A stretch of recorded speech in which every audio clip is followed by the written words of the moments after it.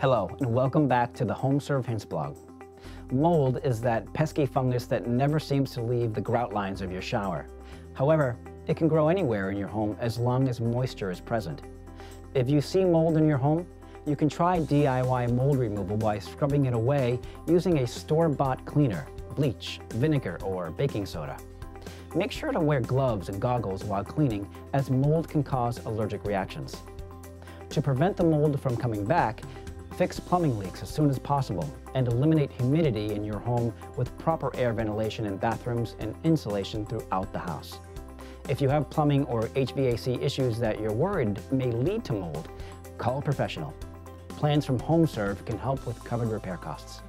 Thanks for watching. Check back soon for more HomeServe tips.